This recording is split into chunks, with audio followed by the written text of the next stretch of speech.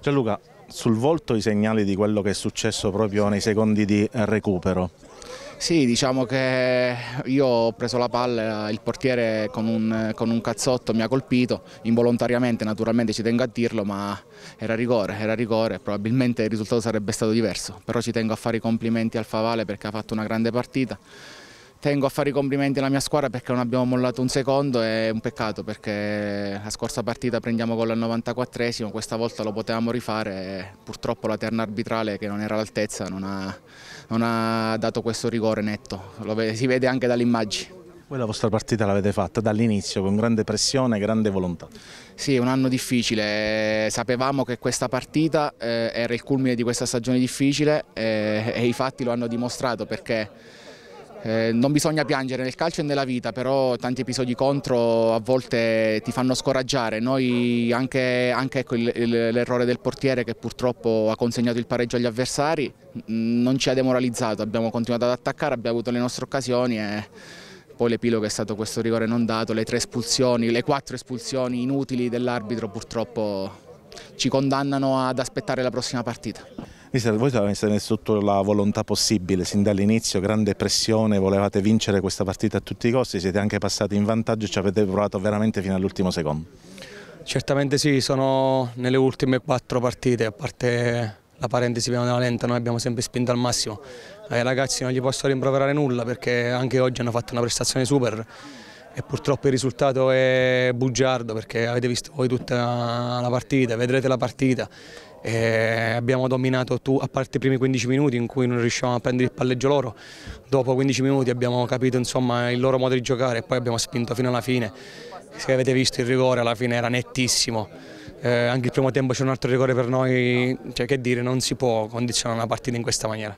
Tutto qua. Dopo questa seconda giornata siete in testa al triangolare, però domenica ci sarà quest'altro match tra Virtus Castelfrentano e Favale. Una settimana ancora di passione, ci sarà anche di fatto non scendete in campo.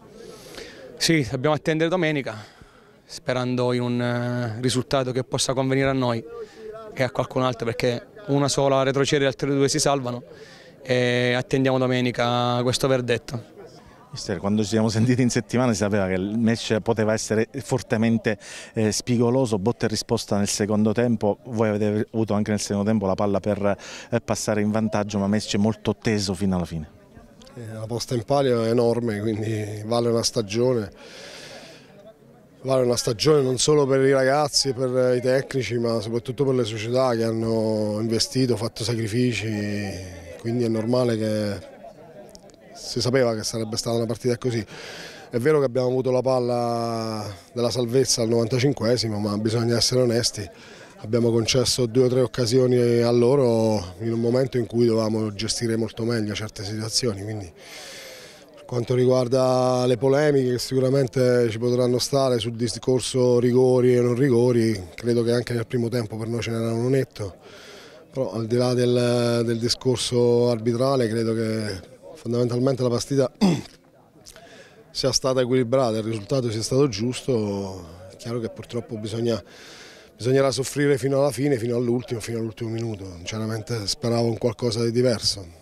Squadra che ha rispecchiato il grande carattere, come dicevamo anche in settimana. A un certo punto Di Loreto è andato a saltare su un'azione d'angolo, si era tardato in attacco, però a Chaval è riuscito a recuperare difensivamente. Eh, a Chaval è è un giocatore che ha il temperamento e il carattere che piace a me, un giocatore importantissimo. Noi abbiamo pescato questo ragazzo a dicembre, avevo ottime referenze da parte di un mio ex ragazzo che ho allenato che sta facendo molto bene a Castelfidardo e mi ha detto vai tranquillo, prendi gli occhi chiusi, è stato così, è stato, per noi è stato determinante, cioè, non solo sotto il profilo delle, delle reti segnate ma è un giocatore che sicuramente ha più, più temperamento e più spirito di attaccamento all'ambiente, ai colori, nonostante è un ragazzo argentino.